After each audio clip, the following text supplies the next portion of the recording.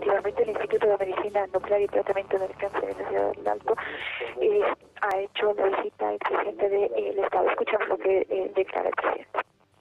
Y otros médicos. Estos tomógrafos son igual que eh, resonancia magnética en tema cáncer mejor que la resonancia magnética. He visto, hemos verificado con ustedes en la prensa, dos aceleradoras lineales. Yo pregunto a la ministra, ¿cuánto teníamos en Bolivia como, como Estado? Me dice, no tenía, solamente había privado. Aquí en Alto ya tenemos dos instalados. Vamos a tener en la ciudad otros dos aceleradoras lineales.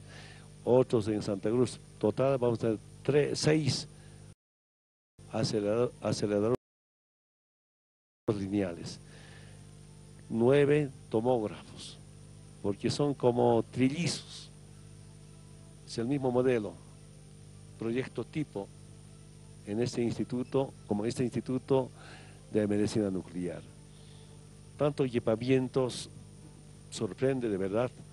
Además de eso, aquí ya tenemos médicos especialistas.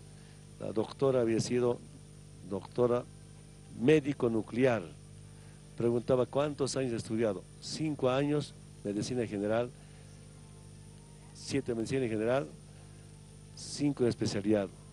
Son total 12, 13 años de estudio. Hay otros médicos, médico, radiólogo, oncólogo, también con las becas correspondientes. Entonces ya tenemos especialista, licenciada en bioimagenología, médicos, físico-médicos.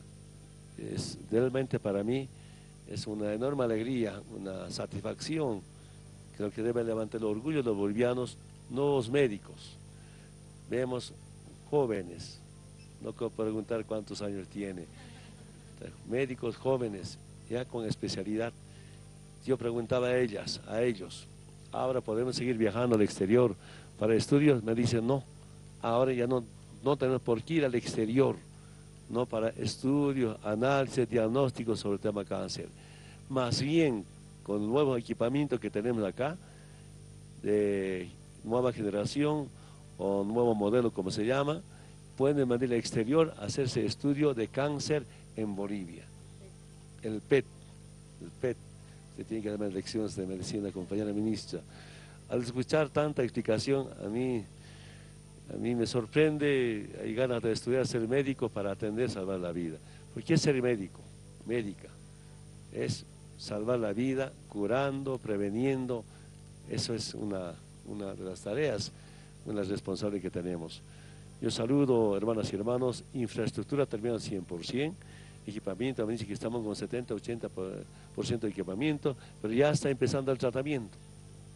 ¿Mm? Y además de ese momento algunos acompañaron, tratamiento, la licenciada la médica conversaba con la paciente vía radio, comunicación, con qué cariño, con qué amabilidad. Perdón, soy sincero, eso solo he visto yo en Cuba, porque el tema también salud es una cuestión psicológica.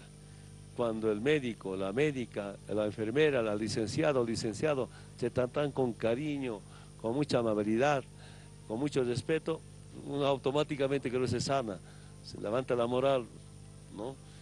Yo conocía en, en Cochabamba, sobre todo cuando venía, me decían, ah, este indio, olor a coca, así te trataban algunas clínicas cuando yo venía. Quiero que se termine eso. Esta nueva generación de médicos, nueva promoción de médicos con especialidad, con seguridad, ya tiene otra mentalidad que la salud, repito nuevamente, no es mercancía. La salud, salud es salud. Salud para nosotros es un derecho humano y no solamente un simple servicio. Entonces, hermanas y hermanos, mi felicitación a la doctora, a todo el equipo que trabaja, que den una buena imagen, que aquí en Bolivia también podemos tratar a otros hermanas y hermanos que vienen del, exterior para hacer su estudio o su tratamiento correspondiente. Hemos visto las máquinas de quimioterapia, se llama, son total 11, 10 10 eh, sillones, camillas para tratar quimioterapia. Yo escuchaba para algunos hermanos y hermanos, para quimioterapia generalmente viajan a Argentina, a Brasil o otros países o otros continentes. Y ahora tenemos acá, si tenemos acá 10, vamos a tener 30 total del Estado, no del privado. Eso levanta el orgullo de todos los bolivianos bolivianos. Muchas gracias, hermano. Felicitar por su trabajo. Ah, el ciclotron. Ustedes saben que estamos instalando una, una, otra industria, una planta. Y me dicen, aquí se va a industrializar ciclotron. ciclotron, ciclotron, vamos a tener una planta de ciclotron que va a producir eh, medicamentos para cáncer. Ah, no solamente para abastecer Bolivia, sino para, para exportar. ¿no? También va a abarcar los costos. Estamos convencidos. Es cuestión de tiempo. Otro día, hermanos de la prensa, visitaremos otra planta que está en construcción para verificar que nos explique técnicamente qué avances tenemos. Nuevamente, muchas gracias por acompañarnos, muy contento, felicidades hermana ministra, trabajadores, muchas gracias Argentina, saludos salud al presidente Macri, por telefónicamente conversamos, ¿no? también por las becas o becamos allá para que vuelvan con especialidad de nueve meses, un año de estudio, ya están presentes acá para trabajar. Muchas gracias, muchas suerte.